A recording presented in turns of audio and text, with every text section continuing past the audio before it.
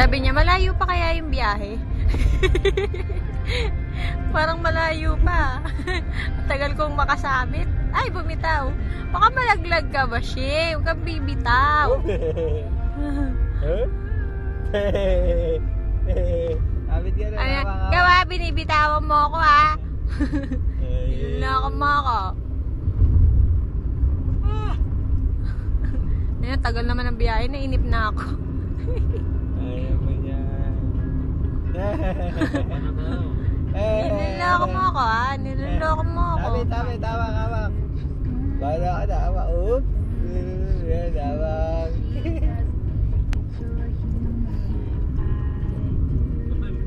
Ay, ko. Hindi, di ba malayo pa? Yung bridge, dun pa yun sa ano, katabi lang nung...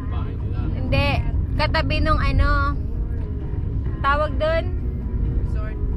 Hindi.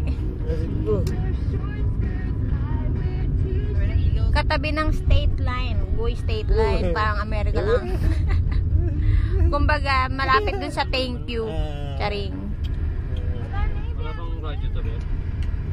Meron. Wala signal. Bawala signal, nakababa yung ano, antena. Bakit hahanapin mo ba kung nasa Pilipinas pa tayo?